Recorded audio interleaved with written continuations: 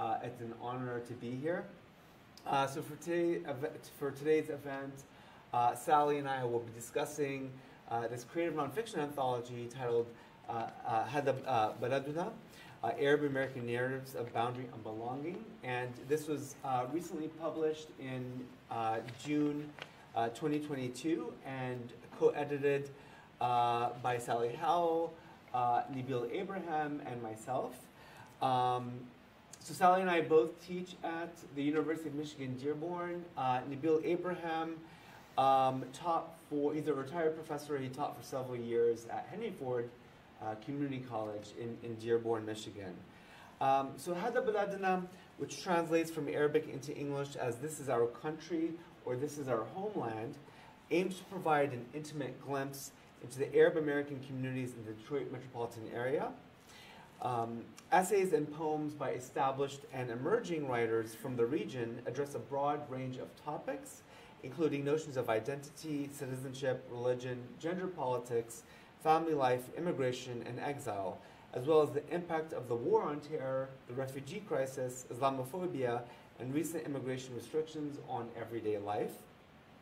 So what we thought we'd do is we'll first um, talk about how the book came about, and then we'll discuss uh, the contents of the book. And uh, we'll touch on each essay and poem in the book, and in some cases, we'll read excerpts uh, from the pieces. We can't, we don't have enough time to read excerpts from every single work, uh, but we hope to give um, our audience just kind of a, a, taste of the book, a glimpse into uh, the different narratives in this anthology. Um, Hadha uh, Baladuna is the third installment in the Arab Detroit series. It follows Arab Detroit from margin to mainstream, which was published in 2000, and Arab Detroit 9/11: Life in the Terror Decade, which came out in 2011. These earlier books mix scholarly essays with works of memoir, poetry, photography, and interviews. This new book differs from its predecessors in that it's um, um, entirely composed of creative works, mostly creative nonfiction essays as well as uh, poetry, and actually um, a set of photographs, which you can see behind us, um, by the Lebanese and Palestinian American photographer Rania Matar. Sally, did you want to say anything about, because you worked on the previous two books, was there anything you wanted to say more about um, the Arab Detroit how, series? Yeah, how, yeah. So we, we went to Wayne State University Press um, uh, Nabeel Abraham and Andrew Shryock and I, we were the co-editors of the last book in the series, and Andrew and Nabeel um, edited the first one.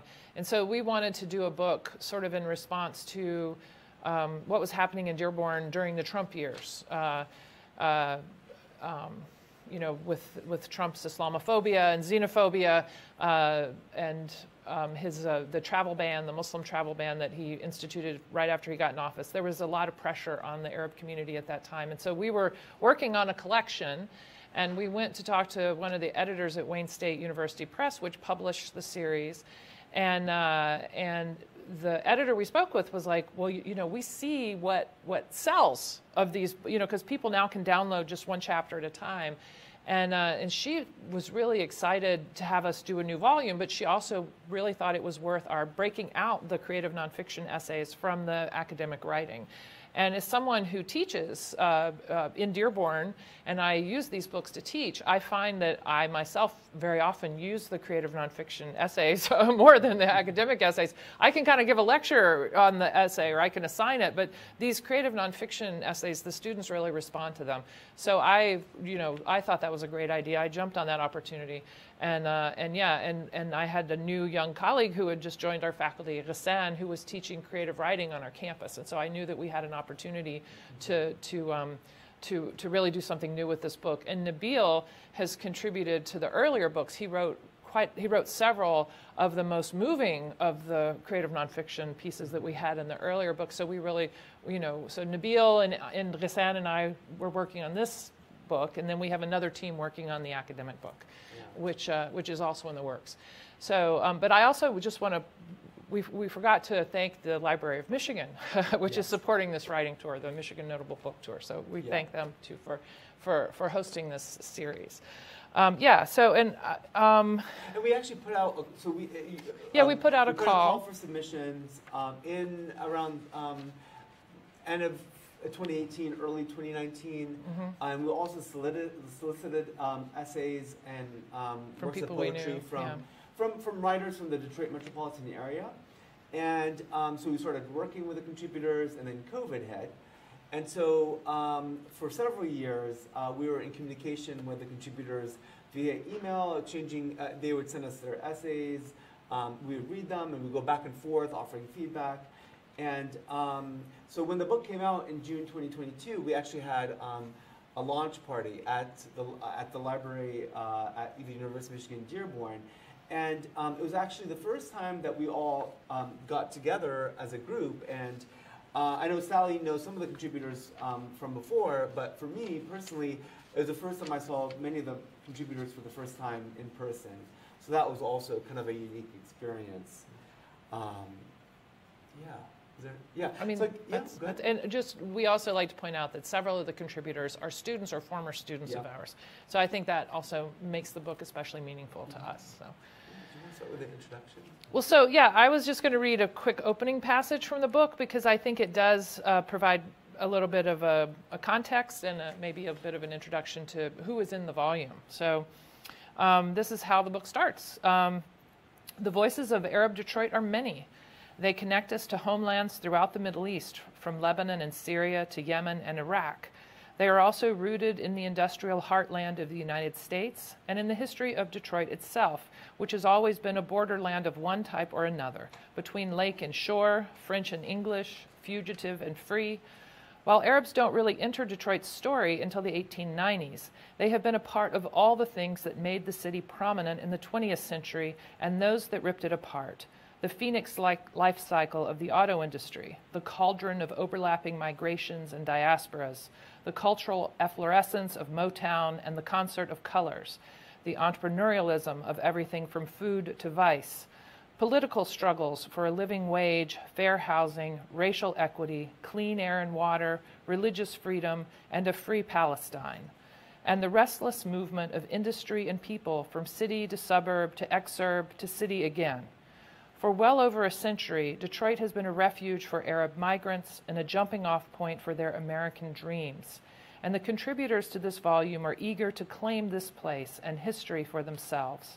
We have titled this collection Hadha Baladna, This is Our Home, Our Homeland, to reflect the sentiment of belonging that gives these narratives cohesion, at once a birthright and a matter of choice, a place of endearment and of restraint. Arab Detroit is the unambiguous home, homeland of the voices gathered here. Thank you. And, and, and speaking of home, uh, uh, my essay titled An Atlas of Homes uh, opens uh, the anthology. And so I thought I'd read a very short excerpt from that, um, from that essay. And just to kind of preface it, um, so I, I, I moved, to, my wife and I moved to Dearborn, Michigan in fall of 2018 um, for, for a job. Uh, up until that point, I hadn't ever um, uh, been to uh, Dearborn, Michigan, although I had heard, you know, I had actually heard about it uh, several years before. Um, as um, my family, and I, my family and I uh, at the time were living in uh, the D.C. area, and we would always order um, sweets such as baklawa from this famous sweet shop in Dearborn called Shatila's. Um, so Dearborn was always kind of in our consciousness, and then in graduate school, I started to research about the, the city, the area, the Arab American community in the area.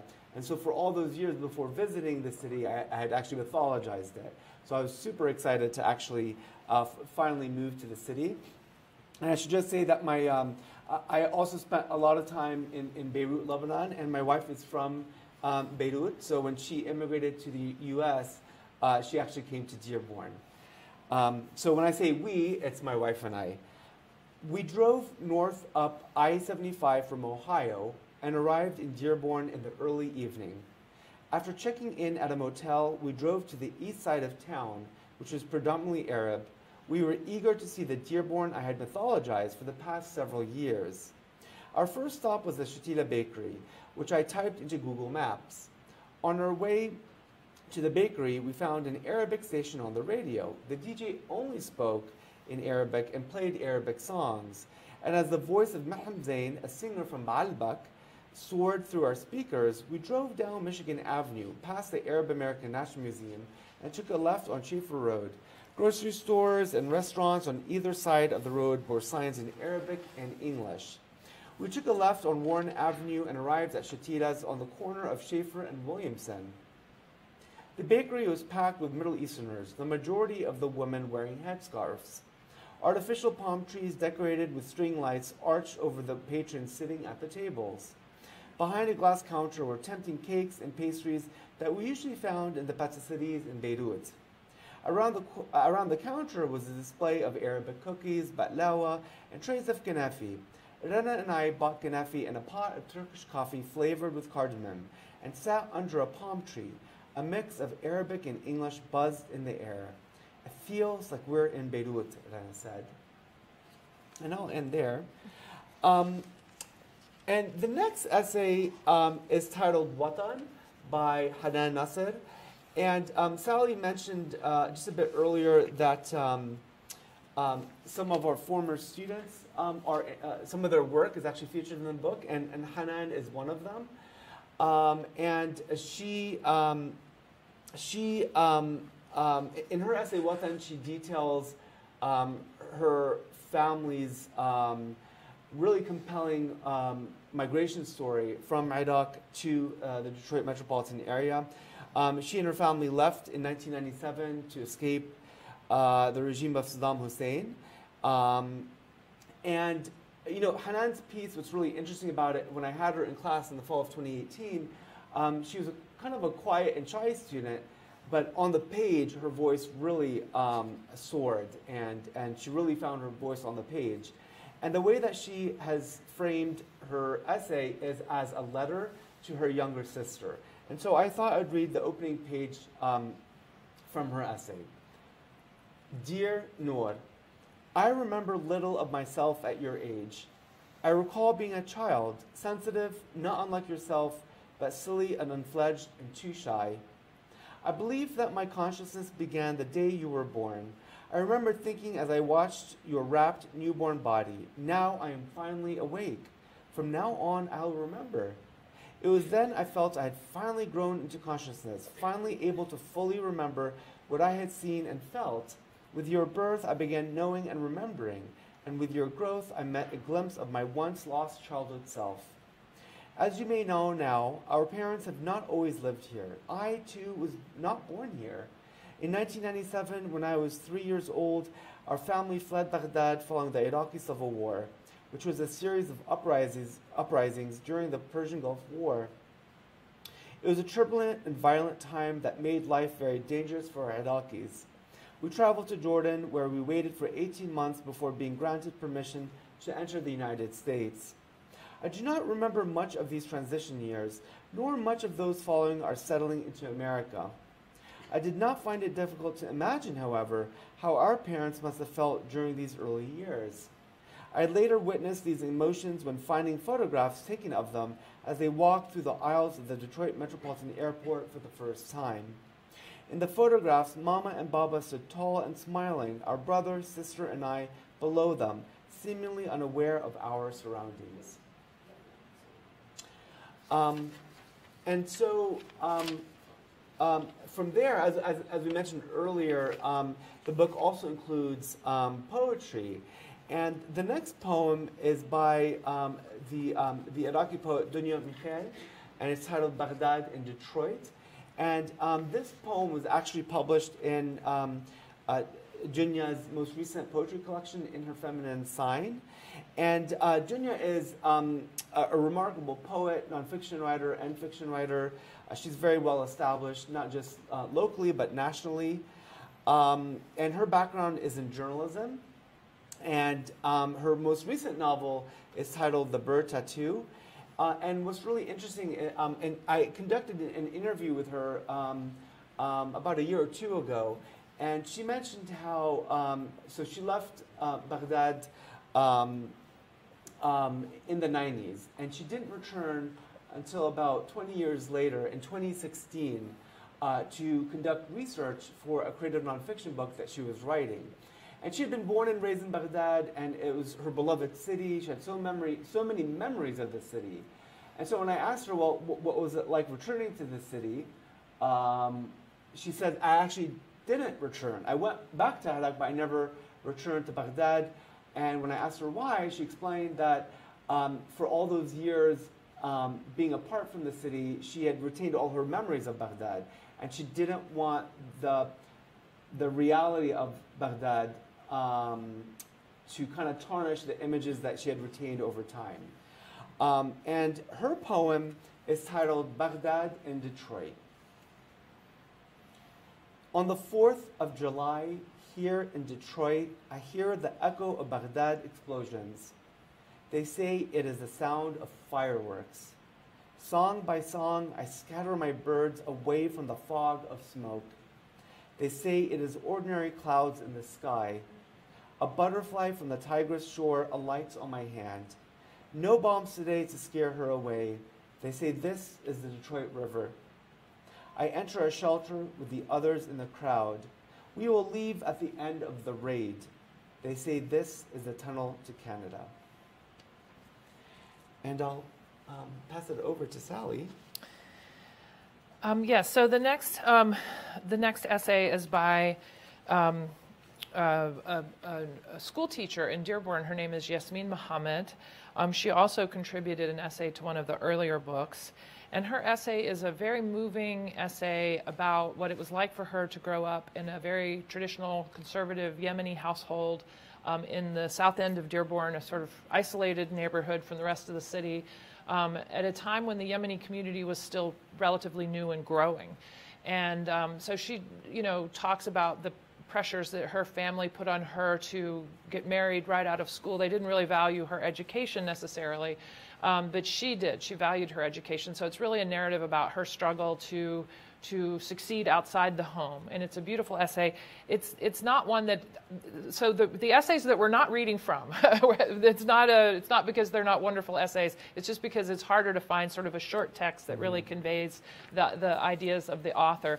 Um, but yeah, she writes also about her family struggle with, um, like her father had schizophrenia and how that affected her community. So it's a beautiful essay, and I encourage people who are getting the book to read it. Um, it's beautiful and written with just um, just a real kind of honesty. It's mm-hmm. it's it's wonderful.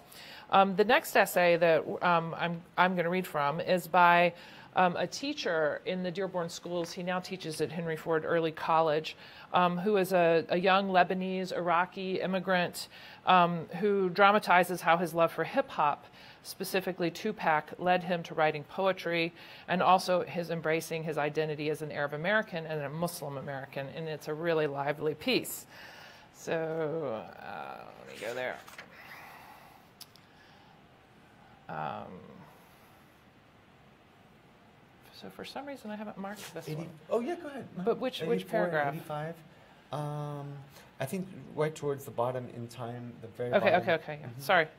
Um, in time, music became more than social currency. I listened to Britney Spears and the Backstreet Boys to survive the poet pressure of middle school, the peer pressure of middle school. But Jay Z, Eminem, and DMX made me feel alive. This was the most haram music of all gangsta rap. It was profane, sexual, and violent, but it revved my soul and gave voice to my rage against the duplicitous world around me. It was real, raw, Abe and proud. It shunned the rules and defied social norms. It was hostile, but most of all, rap was individualistic. It asserted the rapper's right to be who he is. It defied establishments in the name of individual expression and did so with unapologetic courage. It was the most precise expression of my personal hostility against the cultural conformity of my environment. I had to devise all sorts of schemes to gain access to gangster rap. Since it was rarely played on the radio due to its explicit content, I could only listen to it on CD. Up until that time, I had always honored my parents' directive that music CDs, cassettes, and instruments were not allowed in the house.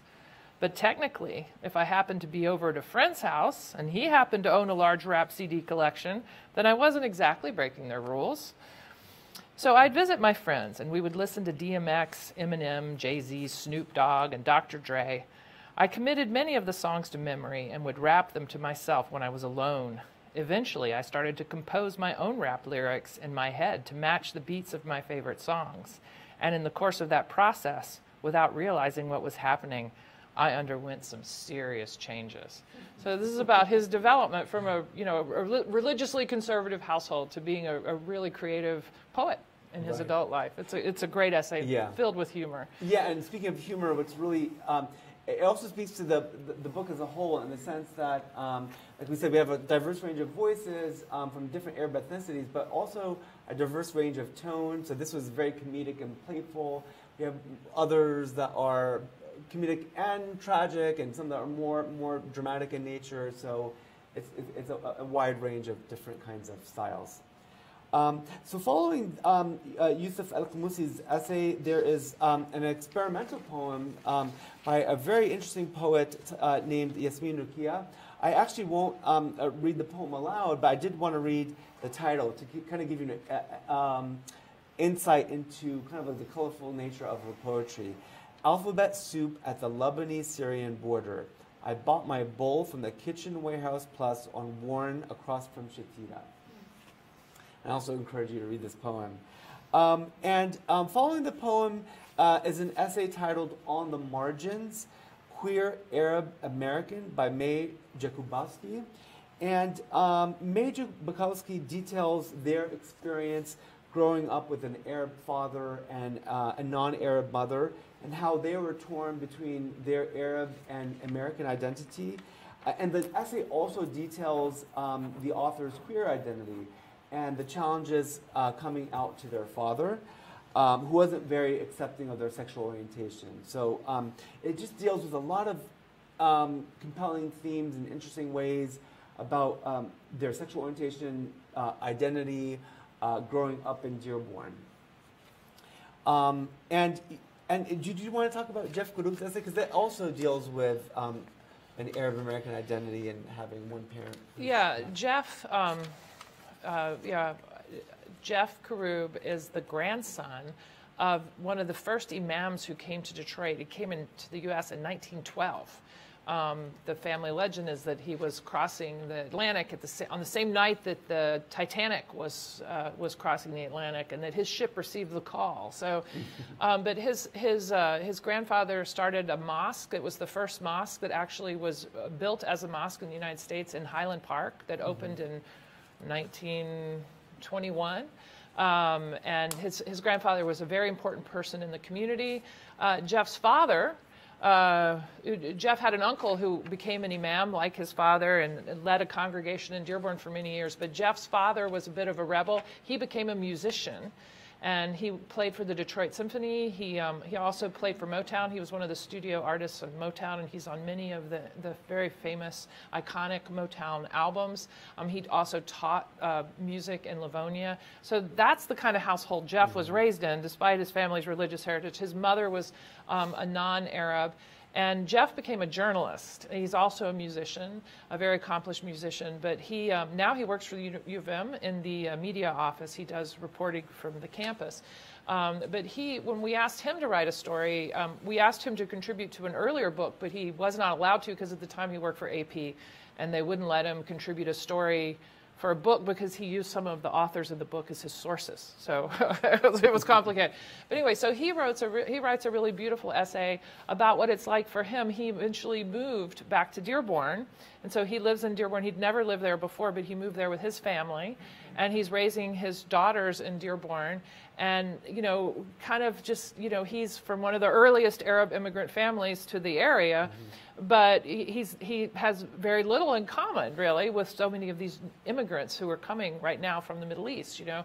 Um, and so he, he, this is really a reflection on his part about what it means to be Arab, and he's titled his essay "Not Arab Enough," um, and it's a really beautiful essay because he also deals with, you know, like watching his daughters um, be comfortable and at home and assimilate in this Arab community, this really big, diverse Arab community that they live in you know, and so he's sort of he's like, well, maybe I am Arab enough mm-hmm. after all. You know, like he's seeing that the, the the, the culture is one that embraces and welcomes people. So right. it's it's a nice essay. It really is. And just to kind of change um, uh, the genres, we'll go into photography. And um, so we included. Uh, there's an interview um, with Rania Matar, the Lebanese Palestinian American uh, photographer. So she was actually born um, and raised in Beirut, Lebanon, and she came to the States for, uh, for university, and she stayed, uh, she stayed in the States. Um, and now she's a very accomplished poet, uh, accomplished photographer uh, uh, um, here nationally and abroad.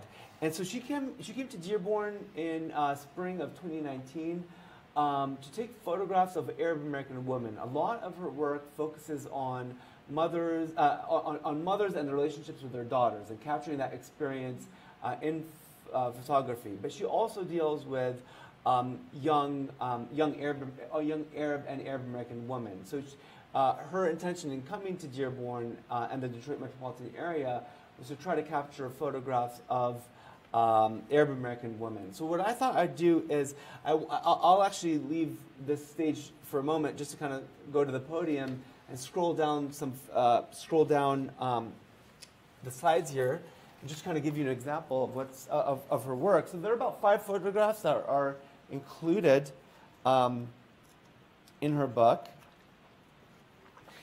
and I'll go to the first one.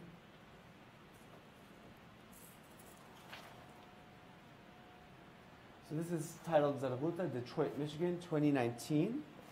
And most of the photographs you ended up taking were um, in Detroit.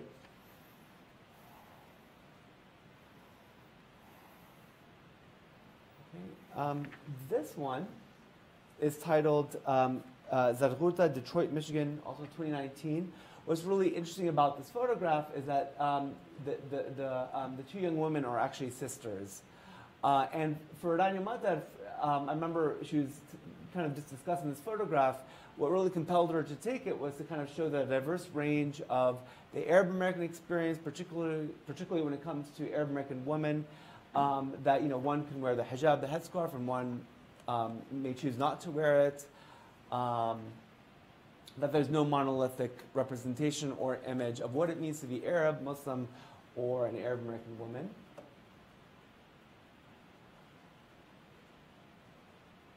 This is. Uh, did you want to say something about Rebecca's photograph? Um, I don't need to. Yeah. Okay.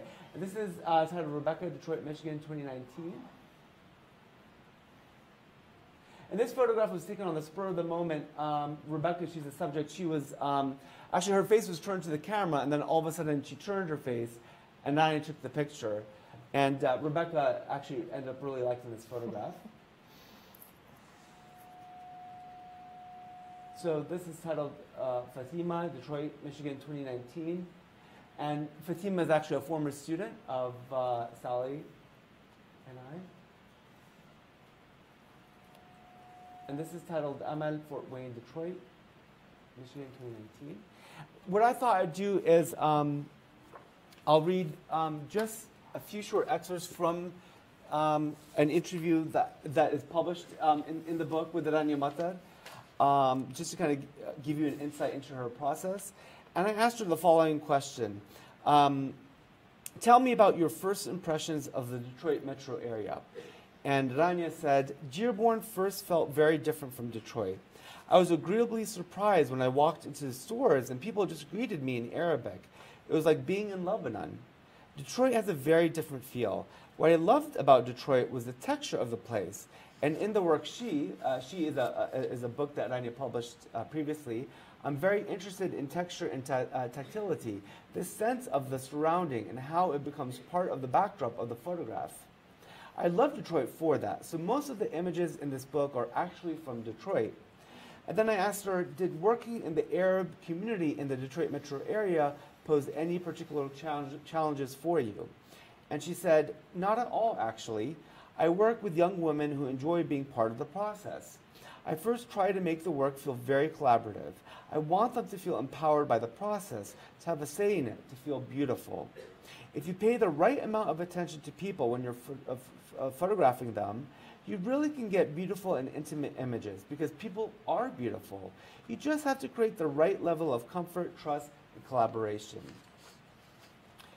Um, and then from Rania, Rania's uh, set of photographs, we go to um, uh, uh, another poet named Hayan Charara, and, and, and, Sally, I'll give you the floor. Yeah, Hayan um, is a poet who grew up in Detroit. Um, on the border of Dearborn. His mom was a school teacher in Dearborn, and his, his dad worked at a, a grocery store. Um, they were immigrants from Lebanon, and uh, Hayan is uh, he's a very important figure in Arab American literature.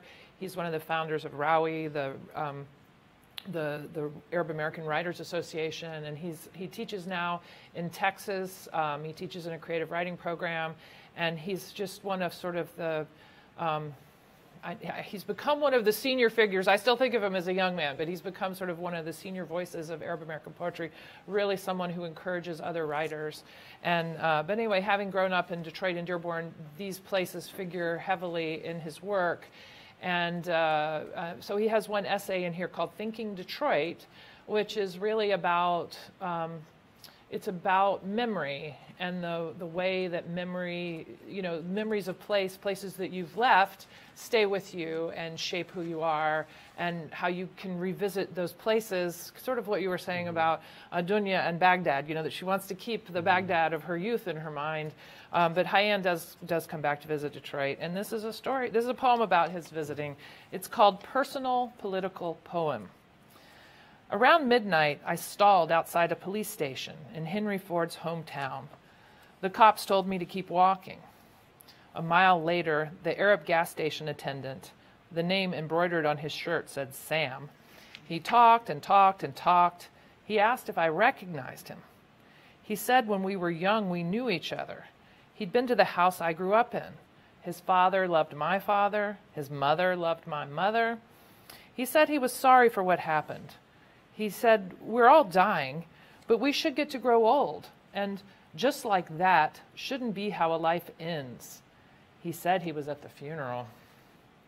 Seeing me carry the casket made him imagine one day doing the same. I said it was late. I needed to get back. The cops were going to tow my car. He showed me a newspaper. He said he was the guy who pulled a drowning girl from a crowded pool. He pointed to the mayor, shaking his hand. He said he went to high school with the mayor, who was the kind of guy who would jab his finger at your chest and say, You don't look like a Sam. There was something better out there, he said. He knew there was, for him, for me. I told him it was true. He did not look like a Sam. Hayan's his post. or a summer, or you know. right. Yeah. Well, I mean, this is Hayan's poetry. Really, it's it's very moving. It takes you to a place that's so immediate and visceral, but also there's so much humor in it. Yeah. And a lot of his current poetry is about living in Texas, and it's just it's really I I really enjoy it. Uh, the next contributor is another former student, um, uh, someone who was on, on the, when I first started teaching on the Dearborn campus, she was a student and she was part of a group of young Arabs who, who were part of our Arab Student Union and were very supportive of, uh, of our trying to get a center started. And, you know, she's a young woman who struggled quite a bit in life because she had a difficult childhood, and she writes about that difficult childhood. So um, I'm just going to read a brief um, excerpt from her work, which is also very brave. She deals with the, the, um, the abusive household that she grew up in. And it, despite the, the, the difficulty of the chapter, you'll see there's also a lot of humor in it. She's just, her brain is firing on 100 levels. Most days, I do not want to get out of bed, brush my hair, shower, but I do. I go through the motions, call off work, clear my schedule, get the kids to school, and then crawl back into bed until it is time to go pick them up. I tell this to the doctor. I feel like a wounded animal backed into a corner. Uh, do I tell the doctor about the emotional eating that has turned into binge eating? Do I tell her that the last family function triggered a violent and horrible memory that has sent me into a tailspin? Do I tell her that this downward spiral has no end in sight and that I have not yet reached rock bottom? Do I tell her that I send my kids in the house after we get home and that I sit in my driveway and scream and sob and yell myself into exhaustion? What do I tell this doctor who is trying to understand why I am ruining myself? You have put on more weight since the last time you were here. What is going on? You have a vitamin deficiency. You are dangerously close to having full blown diabetes. You are malnourished. Your liver's in trouble. You have high cholesterol, and I suspect sleep apnea. Tell me, Terry, what is going on? So I tell her, I tell her, and I tell her, and I tell her, breaking down in her office, and I tell her. Doc pulls up her chair to me. She offers me a box of Kleenex. I take the box, vigorously pulling out 10 pieces of tissue. I dab my eyes and I keep talking.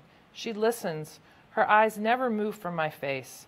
She is taking this all in, and I am filled with sorrow for what I am inflicting upon her. She is tall and blonde and beautiful. She is a good doctor, an even better human being. She is goodness and wholesome, heavily pregnant, from Canada. I wonder if I'm hurting her baby. I cannot be censored any longer. I know that there are consequences for telling my story. I am thankful that I am in the privacy of this doctor's office, that I do not have an audience. But these things happen to little girls with neglectful mothers. I wonder if things like this happen in Canada. I don't know why I think this, but I do. This happens everywhere. She tells me to take a deep breath and start from the beginning, and I do. Doc, I was five.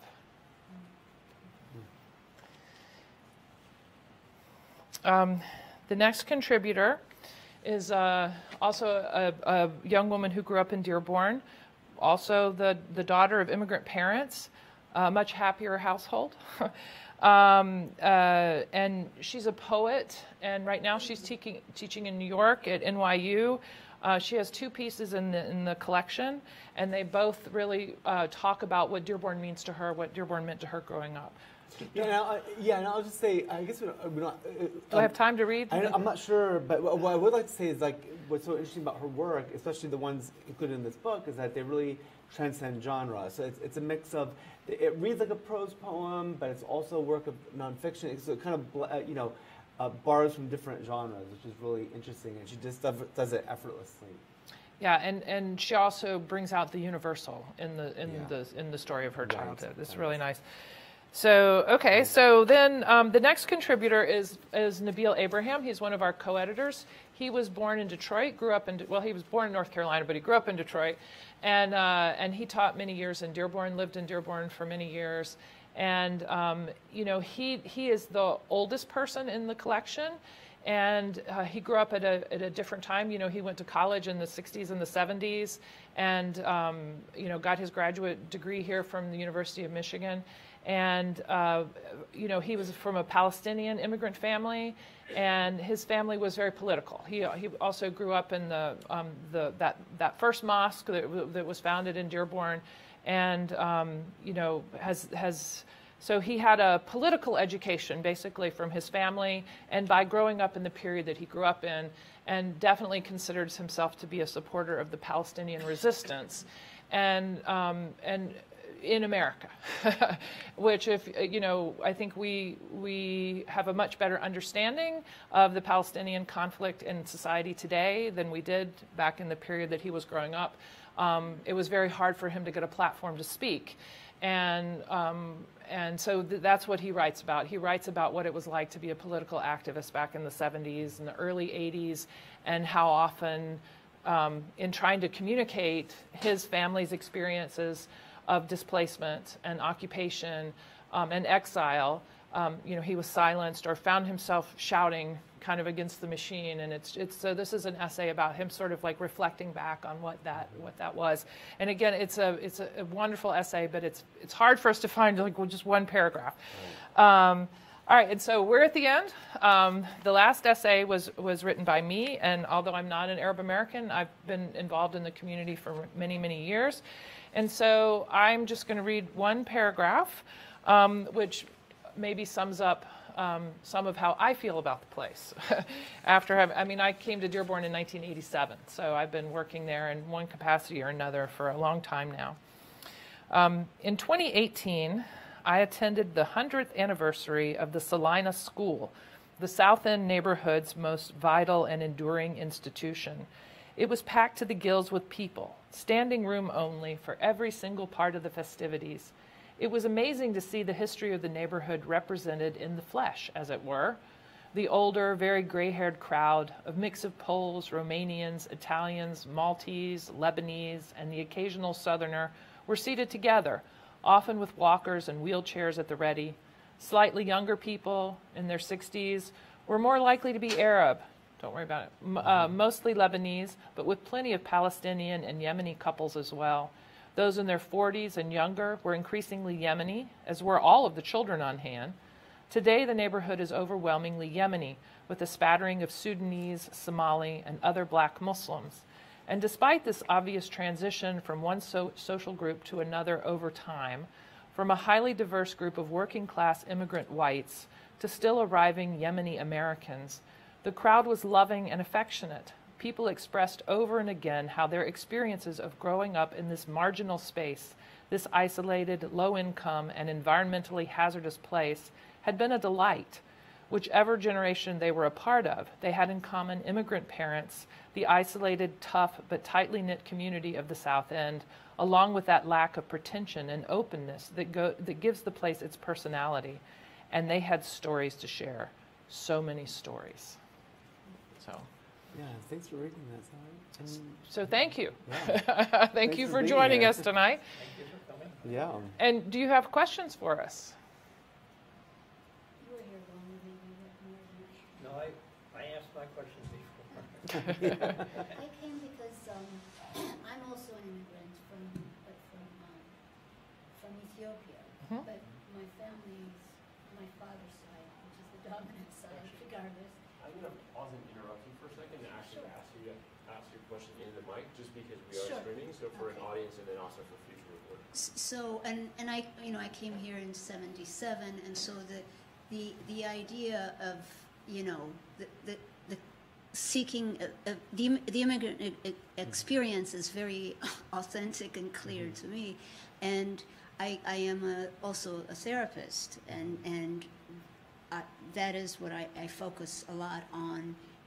People who grew up like me with, uh, you know, I too came from a household where I'm the first girl in my whole family on my father's side that was allowed to go to school beyond, you know, sixth grade because everybody was married off, uh, arranged marriages, but they take them out of school. And so, but I grew up with cousins who, although we're from Eritrea, we grew up in Ethiopia, but they were the only peers, relatives that I had but I saw them, and my, my uncle had two wives, and I saw Asiya and Zakia, my cousins, being, we grew up as, in a certain similar way, and then we cleaved because they were taken out of school and kept home in preparation to get married off by age 16.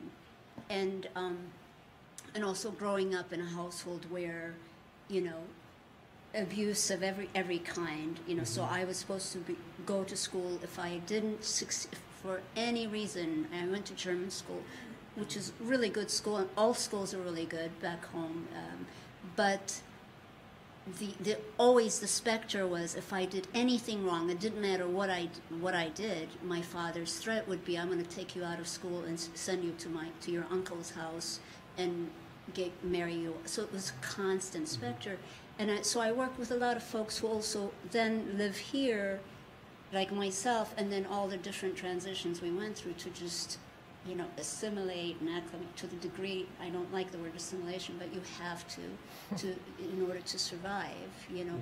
But still these things go on, so I work with, with people who, m- most of my re- referrals come from U of M, um, so people who are in PhD programs, but still the, the issue of having to deal with culture and home life versus themselves as Arab American or, uh, you know, Eritrean American, or, you know, whatever, every, every hyphenation of American you can imagine. It's, it's, a, it's a through line that is a common denominator regardless of where people are from.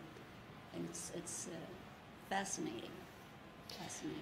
Yeah. So, Yeah, and the thing that, I mean, when, when we were assembling these essays, we tried to find as diverse a, you know, the, we, we didn't have any limitations on who could be included as long as they were from the community.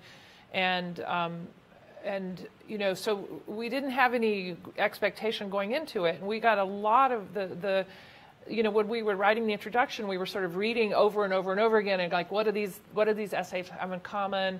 And I think um, the immigrant parents are stand out. You know, so many either you have an immigrant parent in this narrative, or you have an immigrant grandparent. Um, but the but the experience of those parents, you know, where those parents came from, the amount of trauma those parents had been through, um, and then the the expectations that the parents had. So Yusuf's father was religious. He his his his name. Uh, he's, he, I mean, I think the family expected him to be a Quran reciter, you know, and instead he, he does, you know, hip hop, you know.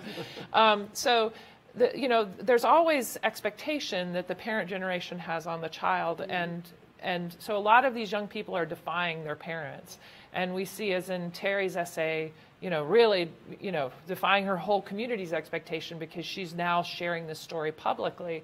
Um, but the, the, the, the thing that strikes me even more than that is how so many of these people, they're, they're not just the children of immigrants, they're the children of refugees. Yep. Mm-hmm. And there is such a difference between coming here as a voluntary immigrant, you know, often for economic opportunities, having made the decision yourself to come, having saved money, having gotten the training maybe you need, you know, all those steps you go, having connections in the new world, a cousin who's going to sponsor you or mm-hmm. something, and coming here as a refugee, you know, where you're ripped out of your home in the middle of the night and you know, you you suffer often many many years before you can get to America, especially if you're a refugee from the Arab world, because because of our government, our suspicion of Arabs and Muslims.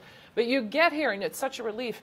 And I I find that the young people whose parents are refugees, they they have a like it's like Hanan's essay. Mm-hmm. You know, that they have a little bit more tenderness for their parent. You know, even if they disagree with the parents. I mean, I mm-hmm. think that this is also true of Yasmin. Her parents weren't refugees, but she gets where they're coming from.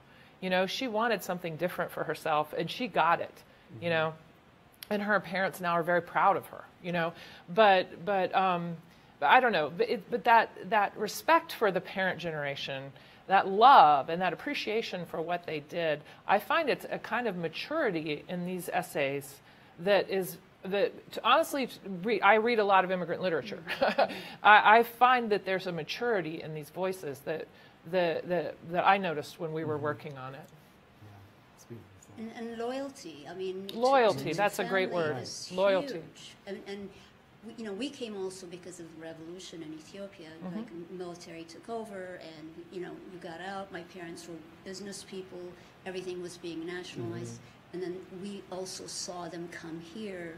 And I had never seen my father like hold a broom and clean anything, but they opened up a, a business here, and there he was cleaning the bathroom. This mm-hmm. man, never, you know, he was a well-known musician, composer back home. I never thought he would do anything like that, but mm-hmm. here, one. So, so even though I'd be furious at him because he, you know, he had all these rules about me going out with my friends, you know, and, and I'd gotten into senior year in high school, and my friends wanted to go out. The first day, I remember I came back from from school, and my friends were all planning on going out. So I just like went in and decided, well, we're in America now, so I can do that, even though I could never do it back home. So, and so I got ready. My friends were coming to pick me up, and my father's like, "Where are you going?" And I said, "I'm going to go out with my friends." And and so was that was a whole scene. But what? So even though I had these real anger issues and couldn't wait to leave, and I ended up leaving two years after we moved, I decided, okay, I'm gonna just, I'm, I, I have to get out because I can't live by those rules. But to, and and my dad's gone now, uh, but the loyalty that you have also is you you see what how your parents have to basically do anything and everything they can to, to keep the family together and to support the family and and giving up whatever pride they had to to to become you know a viable parent supporting a family of you know five six kids you mm-hmm. know and and and you respect regardless of how angry you are at them you respect what they've gone through on the other end mm-hmm. trying to get us out of the country and then once here trying to make a living you know and start from scratch mm-hmm. you know. Yeah, I find that, you know, I live here in Ann Arbor, and whenever I go to the airport, I take a Lyft or something like that. My drivers are overwhelmingly mm-hmm. immigrants, usually Yeah. from the Middle East. Not always. There are a lot of African drivers here too, but but um, yeah, I always.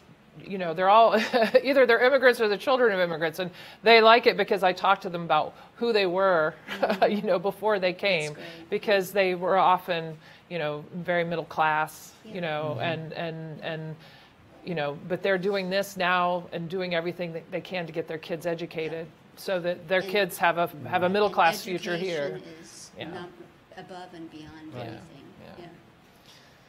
And there, I think there's also, you know, to speak to the conservativeness of your parents. I mean, they were bringing with them their cultural norms from home, but there's also for a lot of immigrants there is a um, a sense there's a fear of America, right? The America you see on TV with sexual mores that maybe many immigrant families don't recognize, among other things. Uh, and the parents want to protect their children from that. They want their children to be culturally like them. Um, and one thing that is also sort of different about this volume than some of the earlier work we did on Detroit is that now, you know, there was immigration in the early part of the 20th century, but it was very difficult for Middle Easterners to come here because of our Asian exclusion laws until the 1960s. Yeah. But since the 1960s, there's just been one group after another that has come. The Lebanese came, the Palestinians came. Now we have Iraqis and Yemenis coming and Syrians, and people are still coming from all mm-hmm. those countries.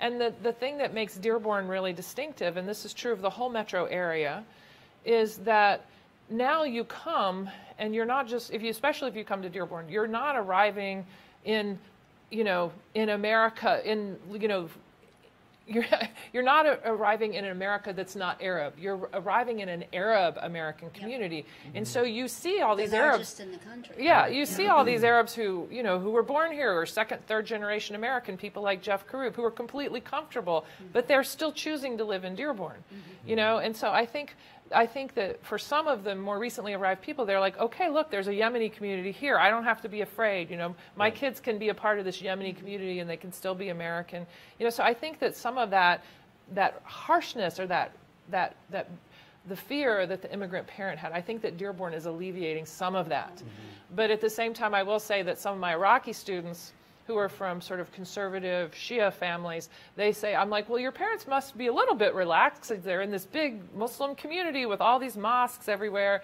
And they say, no, but they look at the Lebanese and they say, look, they're not, they're not really Muslims at all. it makes them even more, more conservative, you know. So there is, there is still that judgment, you know, and it's, it's, it, it, it's, it just speaks to the real challenge that, that immigration faces.